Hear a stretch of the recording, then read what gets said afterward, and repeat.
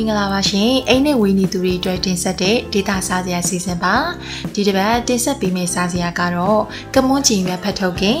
တဝဲခေါ်နဲ့ဆိုကမွန်းရှင်ဝက်တုံဖြစ်ပါတယ်ရှင်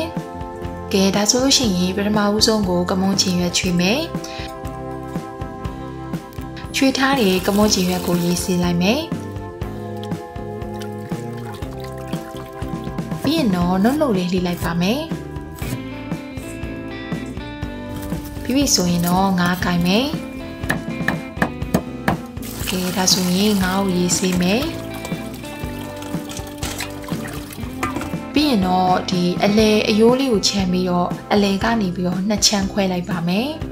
ငါ့ကိုကိုစင်ပြေးတဲ့ငါနဲ့တုံးလို့ရပါတယ်နော်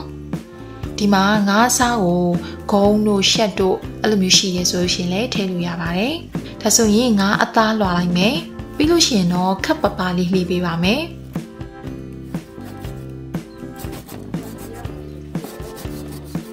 လို့ရှိရင်တော့ကြက်သွန်လေးကိုမထူမပါလေးလှီးလိုက်မယ်။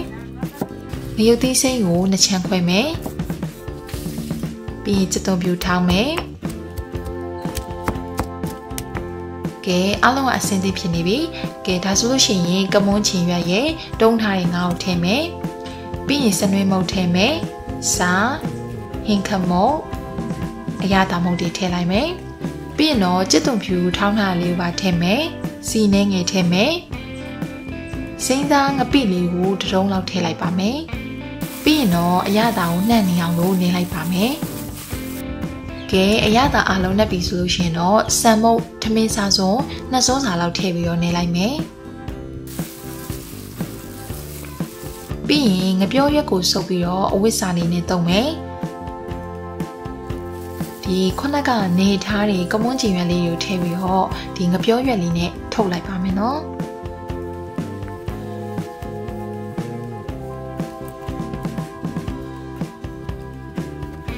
ပြီးရင်တော့ဝညက်လေးနဲ့กินမယ်ဒီနေရာမှာမီးအေးလေးနဲ့กินလိုက်မယ်ပေါ့နော်ကဲกินထားတဲ့ကမွန်ချင်ရဲ့ဖက်ထုတ်กินလေးရတော့ချက်ပြီအဲဒါဆိုလို့ရှိရင်ခဏအေးခံထားလိုက်မယ်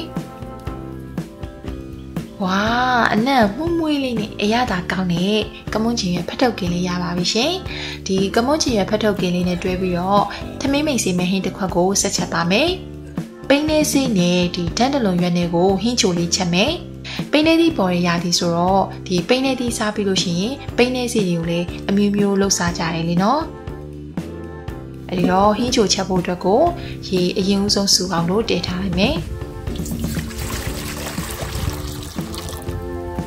တန်တလွန်ရွက်ကိုချွေထားမယ်ပြီးရင်ရေဆေးလိုက်ပါမယ် ဒီရေဆူလာပြီဆိုရင်ပိန်းလေးစီကိုတစ်ချက်ထုပြီးတော့ထည့်လိုက်ပါမယ်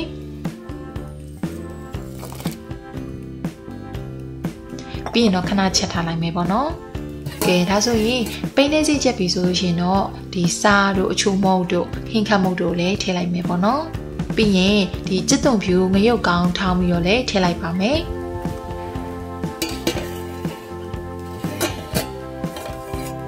ကဲဟိရလည်းအရင်ကိုစူနေပြီဆိုတော့ဓာတ်နှလုံးရွက်ကိုထည့်လိုက်မယ်အာခဏချက်ပြီးလို့ရှိရင်တော့အိုးကိုချလိုက်ပါမယ်อืมဟင်းကြိုလည်းရပြီဆိုတော့ထမင်းစားဖို့ပြင်မယ်ကဲအနက်မှုန့်မွေးလေးနဲ့စားလို့ကောင်းတဲ့ကမွန်ကျင်ရွက်ဖတ်ထုတ်ကင်ရဲ့ ပြီးရင်အရန်ကိုတောက်လို့ကောင်းတဲ့ပိန်းနေစီတန်တလုံးရဟင်းချိုလေးကိုကြည့်ပြီးတော့အိမ်လွှမ်းပြေကြမယ်လို့ညွှန်လင်းပါတယ်ရှင်။နောက်ပတ်ဒီမှာပြန်ဆောင်ကြမယ်နော်။